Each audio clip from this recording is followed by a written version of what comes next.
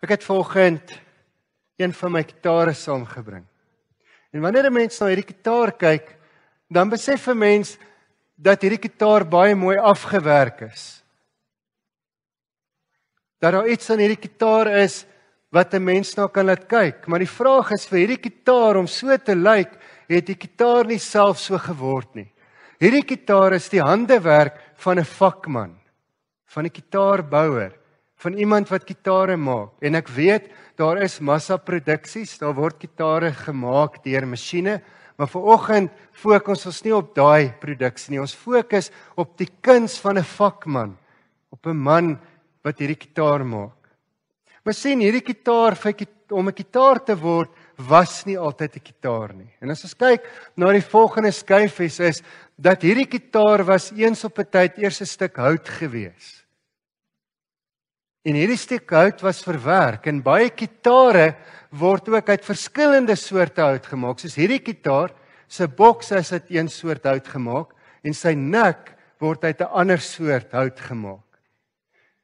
So die kitaarbouer of die vakman sal die hout kry en dan sal hy 'n vorm hê wat die vorm van hierdie boks is en dan sal hy dit gaan uitsny op hierdie hout. Hy sal ook 'n vorm hê wat die vorm van die nek is en hy sal die nek uitsny. En dan sal hy hierdie kitaar aan mekaar sit met presisheid. Al die rowwe stukke en van julle wat houtwerk ken sal weet met die regte gereedskap die rowwe stukke wat weggesny en weggeskaaf moet word en dan word daar 'n spesiale verf of vernis aangesit, afwerkings om hom so te laat lyk, die snare wat opgesit word, hierdie dingetjies wat die snare bymekaar hou, hierdie toestelle wat die kitaar mee stem. En wanneer hierdie eindproduk kom, dan sien ons dat dit wat eens 'n stuk hout was, 'n stuk hout wat gelyk het of dit geen doel kan dien nie. 'n Stuk hout wat eintlik maar op sy eie nutteloos was, het in die hande van 'n vakman 'n wonderlike kitaar geword.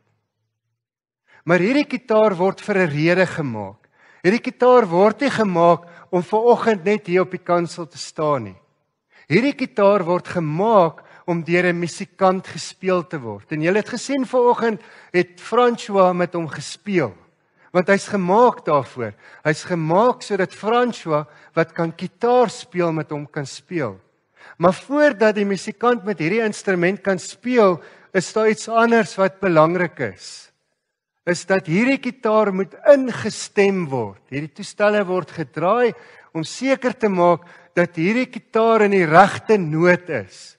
Want hierdie gitaar speel saam met ander instrumente en soos elke instrument, die basgitaar, elke instrument, die saksofoon, die klavier wat hier is, is ingestem sodat hulle saam kan speel en sodat hulle op noot kan wees. So dis baie belangrik voordat jy 'n instrument soos 'n gitaar speel, daar's baie ouens wat sê ag, jy tel net op en speel, maar baie musikante glo dat elke keer voor jy speel, word hy ingestem sodat hy reg kan klink en wanneer die note gespeel word dit 'n noot kan wees. Maar die ander ding is wat baie musikante doen is, hulle skryf musiek. Jy kry baie musikante wat hulle eie musiek skryf. Maar van ons wat nie musiek skryf nie, het hulpmiddels gekry om ons te help om die regte musiek te speel. En as ons kyk na hierdie gitaarbegeleiersboek, deur hierdie note, ek onthou die dominee wat uh by universiteitsoos was, het ge, altyd gesê dit lyk soos mannetjies wat deur 'n draad klim. Maar wanneer jy mens kyk na bo hierdie note, is daar sulke letters D, G, A, 7 en dit is akkoorde. En dit help die musikant om te sê deur hierdie lied wat hy speel dat hy die regte akkoorde speel. Die note, die ander instrumente, die sangers om te weet ons sing en speel die regte musiek. So daar's hulpmiddels wat vir ons gegee word. Maar nou is die vraag, wat het hierdie alstaan nou eintlik met ons te doen?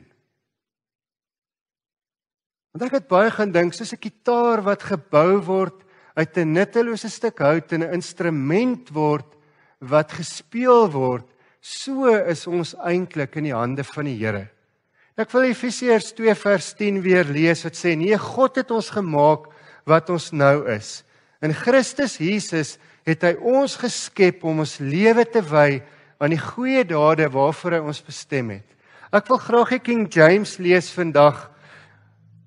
For we are his workmanship, created in Christ Jesus unto good works, which God hath before ordained that we should walk in them. For we are his workmanship. En die Griekse woord beteken vakmanskap of werk. Dit beteken iemand wat werk ingesit het en dit kan ook beteken 'n kunstenaar wat met fyn werk gewerk het en dit is sy eindresultaat. For we are his workmanship. Ons is God se handewerk. En ons is ook gemaak vir 'n doel. So ek wil in die hand van 'n kitaar die beeld vandag kom gebruik om ons te laat verstaan wat God in ons lewens kom doen het. En ons laat kom verstaan dat elkeen van ons wat hier sit, want baie keer in ons lewens voel ons dat ons nutteloos is. Daar's mense wat so voel. Maar hierdie gedeelte sê dat in Christus en deur wat God doen, is ek en jy God se handewerk. Ons is nie nutteloos nie. Ons was dalk op 'n stadium soos Efesiërs sê weens die toestand van sonde, maar in Christus is ons nie meer nie. Ons is sy handewerk. So eerstens wat dit beteken om God se handewerk te wees, beteken om deur hom nuut gemaak te word. Dis 'n baie belangrike boodskap van die evangelie in die Bybel is dat God maak mense nuut. Johannes 3 vers 3 sê, daarop sê Jesus vir hom, dit verseker ek jou, as iemand nie opnuut gebore word nie, kan hy die koninkryk van God nie sien nie. Nuutheid, nuwe lewe. 2 Korintiërs 5 vers 17 sê, iemand wat aan Christus behoort, is 'n nuwe mens. Die ou is verby, die nuwe het gekom. En Galasiërs 6 vers 15 sê, of 'n mens besny is of nie, is nie van belang nie, maar dat jy 'n nuwe mens is. Iets wat ons moet verstaan van Efesiërs 2 is die boodskap dat God nuut maak. As ek weer die beeld van 'n kitaar kan gebruik. God kom nie en maak net 'n stuk in die kitaar heel nie. Die beeld wat hier gebruik word om te sê dis 'n nuwe kitaar wat gemaak word totaal en al nuut vanuit 'n nuttelose stuk hout kom 'n nuwe kitaar na vore. Dis nie 'n kitaar wat die duitjies uitgehaal word en reggemaak word en net die stukke wat gekrap is reggemaak word of vervang word of die nek weer mooi reggebuig word nie. Dis 'n totaal en al nuwe kitaar. Nou ek wil vanoggend sê ons moet iets verstaan wat wat God doen. God maak nie net heel nie. God maak nuut. Kan ek dit weer sê? God maak nie net heel nie. God maak nuut. Want as ons dink aan heel maak, is heel is dit wat stikkend was, word reggemaak. Maar dit wat nuut is, is splinter nie, dit word oorgedoen. Dis iets heeltemal anders as wat dit was. En daarom kom sê ons dat God maak nuut. Daar's 'n groot verskil tussen om net heel te word en om nuut te word. Want hierdie tekste wat ek gelees het, praat van 'n nuwe begin. Praat van iets nuuts wat gedoen word. Wat is geboorte? Geboorte is wanneer 'n babatjie gebore word. Dis nuwe lewe. En as die Here Jesus sê jy moet weer gebore word, wat sê hy? Jy word opgewek tot wat? 'n Nuwe lewe. En dan lees ons in 2 Korintiërs 5 vers 17 wat sê dat hy wat aan Christus behoort is 'n nuwe wat skepsel. Daar staan nuwe mens, maar sê hy's 'n nuwe skepsel. Wat is 'n skepsel? Dis iets nuuts wat gemaak word. En dan lees ons ook wat nie dis nie van belang of jy besny is nie, maar of jy 'n nuwe mens is. Want ons sê mos baie vir mekaar en ons preek baie. Ek dink Pieter het laasweek ook daaroor gepreek dat ons as kinders van God anders moet wees. Want jy sien ons moet verstaan want Efesiërs 2:1 tot 3 sê julle was dood as gevolg van julle oortredings. Ons was soos hierdie stomp gewees wat geen nut het nie. Paulus sê dit was die toestand van alle mense. Alle mense was dood. Hy herinner die mense in Efese van waar hulle kom en waar hulle nou is en wie God hulle gemaak het nou. En dis twee wêrelde. Dood as gevolg van jou sonde en lewend vir God. Daarom word ons so duidelik klem gelê op die nuut word en nuut maak. Dis twee uiterste pole. Dit gesê wens die sondeval in die toestand van die mens was julle soos 'n nuttelose stomp, julle was dood. Julle het geen doel gehad nie. Romeine 3 vers 23 wat ons almal ken, almal het gesondig, almal het afgedwaal. En dan sê Paulus dat julle lewens was oorheers deur julle eie sondige begeertes en deur die forse van hierdie wêreld van die onsigbare lig wat eintlik beteken die duiwel en die bose geeste. Te sê julle het onder hierdie heerskappy gestaan. Hierdie verganklikheid en omdat julle nutteloos en dood was, moes julle aan die straf van God onderworpe wees. Dat dit is die pad vir die mens, die straf van God. Want sien 'n stuk hout wat nie gebruik word nie. En wat nie omskep word tot iets niets nie. Dis 'n stuk hout wat weggegooi en in die vuur gegooi word. Want wat beteken dit om dood te wees van jou sonde? En Paulus praat hier van mense wat leef maar is dood. Om dood te wees is om geskei van die Here te wees, om ver van God af te leef. In die eindeinde van so lewe, om so lewe te bly, is om vir altyd dood en van God geskei te wees. Maar dan kom die goeie nuus en sê maar God neem ons in sy hande. Hy's die groot vakman wat ons lewens kom verander. En dan lees ons die wonderlike in vers 4 tot 6 tot 7. Maar God is ryk in barmhartigheid en het ons innig lief. Deur sy groot liefde het hy ons wat dood was, as ons as gevolg van ons oortredings saam met Christus lewend gemaak. Uit genade is julle gered. Ja, in Christus Jesus het hy ons saam met hom opgewek uit die dood en ons saam met hom 'n plek in die hemel gegee sodat God ook in die tye wat kom sal laat sien hoe geweldig groot sy genade is deur die goedheid wat hy in Christus Jesus aan ons bewys het. Dis vir my verskriklike mooi teks altyd hierdie. Paulus begin met hierdie prentjie van julle is verlore en dan slaan hy so in en sê maar God het julle 'n nuwe lewe geskenk. Hy wat julle liefhet. Ja, beklemtoon hy het vir julle plek in die hemel kom gee. Want 'n kitaar kan uit sy eie nie 'n kitaar word nie. Daai stomp hout kon uit sy eie nie 'n kitaar word nie. Niks wat ons doen kon ons daai nuwe lewe kom gee het nie. Want nou Pieter het woon, in donderdag by lofprysing het Jesaja gepraat wat sê dat nie eers ons goeie werke, beste werke is selfs goed vir God se oë nie. Is dit nie wonderlike is dat om 'n God se koninkryk te kom beteken nie dat ek vir audisie gaan nie, maar dat ek deur Christus deel van die koor word. En deur wat God doen Want dis hy wat lewend maak en lewe gee. Dis God wat ons omskep in nuwe mense, nie onsself nie.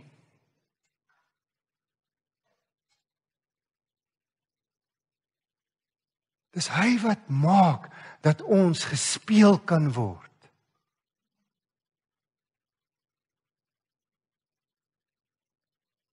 Die ander belangrike vir my mooi van vers 6 van hierdie hoop wat God gee is dat hierdie in die Grieks in die verlede tyd geskryf word. En wat dit beteken is dat ons het 'n toekoms, maar is reeds ook gedoen. En dit beteken dat hierdie vers kom sê, julle is nou reeds op aarde, ook al deel van God se koninkryk en julle is verteenwoordigers van God se koninkryk. Julle is ambassadeurs. Die Bybel sê ons is dalk in die wêreld, maar ons is nie van die wêreld nie. En dit alles word vir ons gedoen deur die kruis en die leë graf van die Here Jesus Christus. Ek wil graag Kolossense 2 vers 13 tot 15 lees wat sê: "Julle was dood deurdat julle gesondig het en deurdat julle sondige natuur nog nie weggeneem was nie. God het julle egter saam met Christus lewend gemaak deurdat hy al ons sondes vergewe het. Hy het die skuld bewys met sy eise teen ons tot niet gemaak. Hoe het hy dit gedoen? Deur dit aan die kruis te spyker, het hy dit vergoed weggeneem." het elke mag en gesag ontwapen en hulle in die openbaar vertoon deur hulle as gevangenes in die triomftog van Christus mee te voer. Dit is wat Christus vir ons kom doen het. Maar ons moet verstaan, want ons verstaan genade verkeerd. Genade beteken nie dat ek op die rak bly nie. Genade beteken nie dat ek nou net doen wat ek wil nie. Want genade wat kom sê ek word opgewek tot 'n nuwe lewe. Wat kom sê genade vir ons? En dat God ons tot 'n nuwe lewe opwek. Dit sê nou word ons gespeel deur God en ons word ingestem op sy genade. Onthou ons het in die begin gesê dat voor 'n instrument gespeel moet word, is dit belangrik dat hy ingestem word. Waarop word ek en jy ingestem? Wat is die hemelse noot wat God deur ons kom speel en dat ons daarop ingestem kan word is deur God se genade. En hoe word dit deel van jou en my lewe deur geloof? En deur om geloof en hoop en liefde te leef. Jy sien, ons kan vir mekaar sê dat Ons doen nie goeie werke sodat ons gered word nie. Ons doen goeie werke omdat ons gered word. En ek het hierdie week in my voorbereiding van John MacArthur iets moois gelees. Ek en jy word gered tot goeie werke. Hoor ons die verskil? Want ons word in hierdie nuwe lewe geplaas wat in God se hand en in God se wil is en deur God musiek maak. Daarom kom sê Efesiërs 2 vers 10, so belangrik. God het ons gemaak wat ons nou is in Christus Jesus, deur sy genade om wat te kan doen, om ons lewens te kan wy aan die goeie dade. Die resultaat van God se genade, ons word in 'n nuwe lewe geplaas waar ons tot diens van God kan staan. God wil nie hê ons moet soos 'n gitaar en 'n staander wees nie. God wil hê ons moet 'n instrument in sy hand wees en gespeel word. Want jy sien wanneer ek gered word en wanneer ek 'n nuwe mens gemaak word, kan ek wragtig nie meer net vir myself leef en vir my eie lewe nie. Dan kan ek nie anders as om in diens van God staan nie. Efesiërs 5 vers 8 sê Vroer was julle die ene duisternis, maar nou in die Here is julle lig. En wat sê Paulus? Omdat julle lig is, wat moet julle doen? Leef as mense van die lig. In Christus Jesus is dit van belang of jy besny is of nie. Al wat belang van belang is, is geloof wat deur die liefde wat doen, oorgaan tot wat? Tot dade. Solank ons die geleentheid het, moet ons dit aan almal goed doen, veral aan ons medegelowiges. 1 Tessalonisense 5 vers 15 sê sorg dat niemand 'n ander mens kwaad vir kwaad vergeld nie. Beywer julle liewer altyd vir die belange van julle medegelowiges en van alle mense. En dan Jakobus 2 vers 14 wat sê: "Wat help dit my broers as iemand beweer dat hy glo, maar sy dade bevestig dit nie? Kan so 'n geloof 'n mens red?" Ons is gemaak om gespeel te word. Dit is die kern van die evangelie en veral in Paulus se briewe vir my altyd interessant. Paulus begin altyd met die veronderstelling van onthou wie jy was. Jy was verlore. Maar net deur God en God alleen kan jy gered word en nuwe mense gemaak word. Maar nou omdat jy gered is, sluit hy altyd sy briewe so ook met Efesiërs af met hierdie gedagte om te sê, maar nou moet julle leef as mense wat nuwe lewe ontvang het. Julle moet anders leef. Julle dade moet dit bevestig. Julle moet werklik mense wees wat deur God gespeel word om die hemelse musiek te maak. En hoe doen ons dit? Met ons woorde, hoe ons met mense praat, hoe ons uitreik na ander. Uitreik na hulle nood en nie ons wang draai nie. Dat ons wys dat ons is anders. Dat ons wys dat die liefde van God in ons is en die musiek van sy genade deur ons spoel. En dat ons altyd so leef dat ons die lig in die donker bring. En ek het altyd al baie gewonder oor wat beteken dit om die lig in die donker ook te bring. Een is dat dit bring hoop. Maar as ons lees die teks wat Donnie Pieter laasweek gelees het, daar aan die einde, dan kom sê dit vir ons, maar hoe lyk dit wanneer 'n lig deur die donker skyn?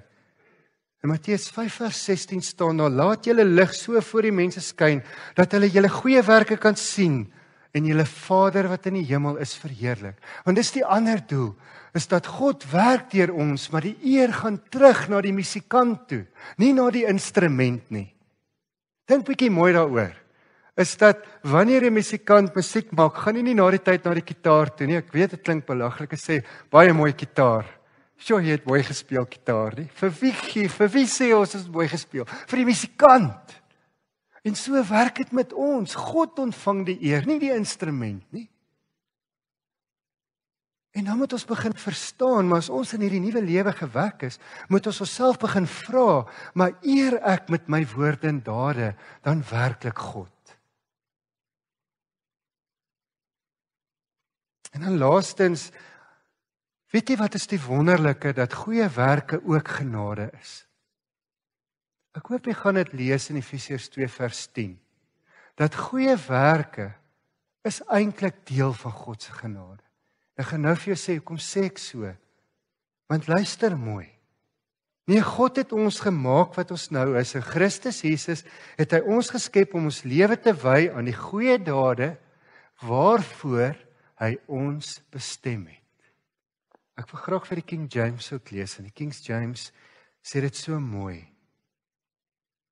Unto good works which God have before ordained that we should walk in them beforehand ordained van vooraf bestem dit beteken dit was reeds in plek gesit en dan is daar 'n pragtige vers in Efesiërs 1 vers 4 wat sê so het hy nog voordat die wêreld geskep is ons in Christus uitverkies om heilig en onberispelik voor hom te wees Goeie werk is genade. Hierdie vers kom sê dat God kom sit ook reeds die werke wat ons moet doen vir ons in plek. Ek het dit al van tevore gesê, maar baie Christene wag vir hierdie openbaring van God in hulle lewens om iets vir die Here te doen. Baie gelowiges wag vir hierdie groot stem van die Here om te gaan in die wêreld te verander.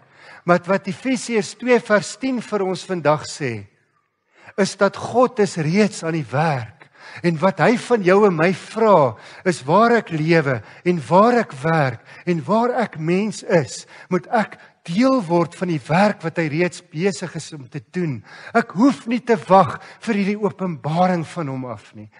Party mense kry dit, maar dis ook mense wat alreeds besig is met God se werk. Wat Efesiërs 2:10 sê, God is aan die werk. God het dit reeds vir jou en my in plek kom sit. Al wat ons moet doen is ons moet dit net doen. En ons moet net medewerkers van God raak. Jy sien, ons as Christene kan mekaar dan verskriklik moedeloos praat. Moedeloos praat oor die ekonomie, moedeloos praat oor die politiek. En dit is werklikhede wat daar is. Maar wanneer sê ons vir mekaar dat te midde van die politiek te midde van die swak ekonomie, te midde van swaar en seer en wat mense mekaar doen, is God aan die werk. Dalk moet ons, ons het 'n lied nou nou gesing. Dis 'n pragtige lied. Here, maak oop my oë, my ore. Moet ons dit nie dalk meer gereeld bid en sê Here, maak oop my oë, my ore, my hart, dat ek kan sien en kan hoor waar U reeds vandag, waar ek hierdie dag binne gaan aan die werk is en ek deel van daardie werk is en 'n medewerker van U is want U het vandag al vooraf bestem dat daardie werke gedoen kan word. Is dit nie wonderlik nie? Die Here kom wys ons wat is goeie werke. Die musikant wat die musiekboek het, het ons die wonderlike riglyn ontvang van hoe lyk goeie werke wat vooraf bestem is. Hoe lyk 'n lewe in genade? Die note wat God deur ons speel, staan hier in geskrywe. En dis vir ons gegee. Soos ons terugkom na die beeld van die kitaar. Ons was dood van ons sonde, soos 'n nuttelose stuk stomp. God het ons kom verwerk en ons skep in 'n wonderlike, pragtige instrument. En hy het ons kom neem in sy hande en hy het ons kom speel. En hy speel ons. Hy het ons kom instem deur sy genade. En hy het die note kom neerlê waar volgens hierdie musiek gespeel word. So ons is God se handewerk. Ons is God se handewerk wat ook sy medewerkers in hierdie aarde is. Ons is nuut gemaak. Nuut gemaak om anders te leef en om die evangelie uit te dra. En mag jy vandag besef dat dit dalk vir jou voel maar waar kan die Here my gebruik? Ek is dalk afgetree. Ek is dalk nog op skool. Ek dink nog aan wat ek moet doen in my lewe. Ek voel ek doen dalk 'n alledaagse werk om die pot aan die kook te hou. Maar weet in elke dingetjie van jou lewe wil God jou gebruik En selfs in jou gewone wat dalk vir jou as gewoon lyk, wil God gebruik om hemelse musiek in en deur jou lewe te speel.